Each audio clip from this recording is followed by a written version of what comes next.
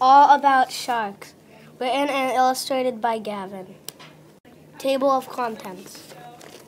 My diagram of a shark. A great white shark habitat is coastal areas in all oceans. It is salty and wet.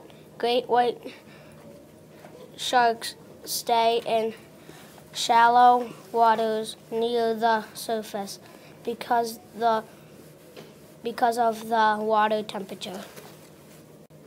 Habitat ocean.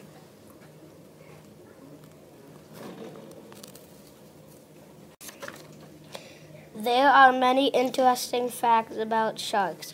A shark uses up more than 10,000 teeth in its life. Swell sharks pups hatch from eggs. Did you know a shark can smell blood from a mile away?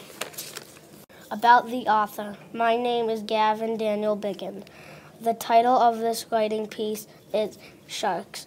When I am not writing, I enjoy activities such as watching TV, playing, or TKD. When I grow up, I might be a wrestler or a basketball player. You might also like my previous published stories, The Three Hour Trip. Glossary